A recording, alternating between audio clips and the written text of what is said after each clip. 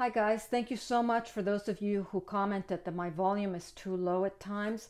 So I'm using my new microphone and hopefully it'll be much better.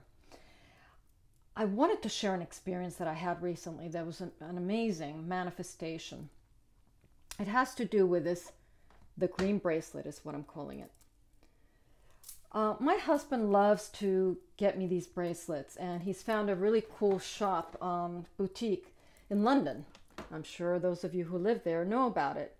Uh, of course, you can find these bracelets anywhere, and he, I'm sure he's paying a huge premium for these, but I don't want to take away his joy and finding these things for me and, and giving them to me. I think it's um, it's so sweet of him. Anyway, they come in these little pouches, and it's kind of fun to um, to get them. So I have four of them, as you can see. About two weeks ago, uh, I woke up, uh, took my shower, and started getting dressed and went to put my bracelets on. And I always put them in the same place. I have this really pretty jewelry box. It's quite big and it's made of semi precious stones. It's just so beautiful. It was made in India. And I went to put my bracelets on, and the green one was missing.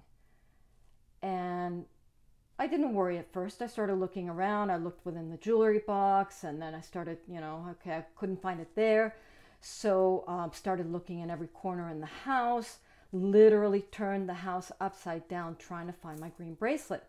I looked in the sofas. I, I was starting to get in a panic because I thought, my God, the green one is the most recent one he's given me. He had given it to me like a couple of days before. And I just, I had to find it. I you know, it would have uh, broken my heart to have to tell him that I just lost the bracelet you got me. So I went so far as to go and open the vacuum cleaner bag. Yuck. If you've ever done that, you got to put a mask on because the dust coming out of those things is, is horrific. But anyway, I carefully dissected that bag, trying to find the bracelet, and no bracelet. So I didn't know how to tell him when he came home. I thought, you know what, just don't say anything. Give yourself another day before you tell him that you lost the bracelet.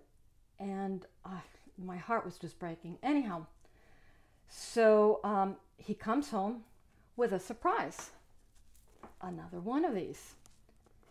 And I said, you know, I have to tell you something. Uh, I, I, and I, I feel so bad. So I told him that I had lost the green bracelet, and he said, Honey, uh, do me a favor, open this up. And I did.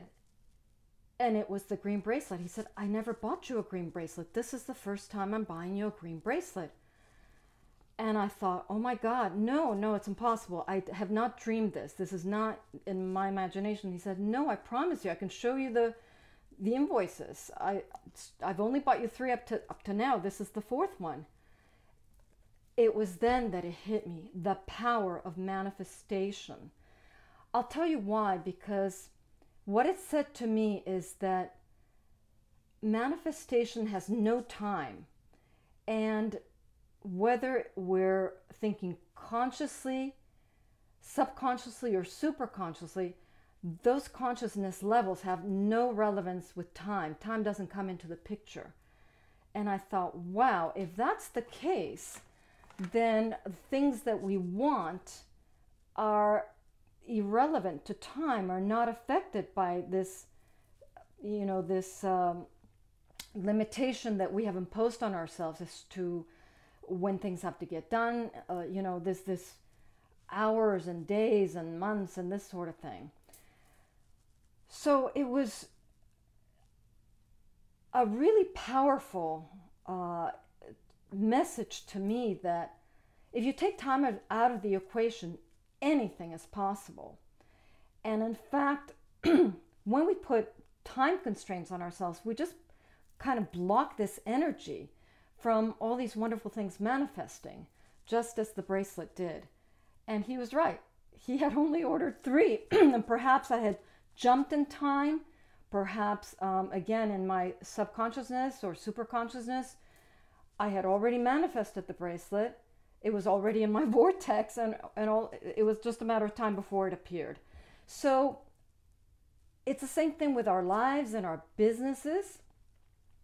If we want something to happen, it's the idea of just keeping that vision alive, you know, envisioning it and seeing it and feeling and touching it. I could have sworn I had this bracelet already. I felt it, I touched it, I envisioned it, I, I, I saw it, I wore it, and it came to me.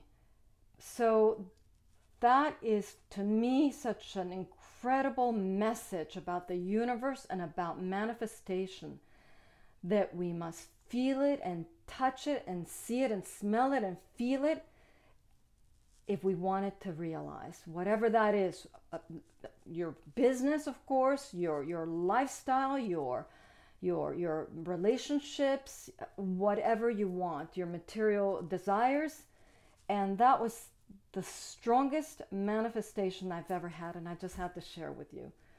So, um, manifest, manifest, manifest, manifest the most wonderful life, the most wonderful business, the most wonderful things you can imagine. All right?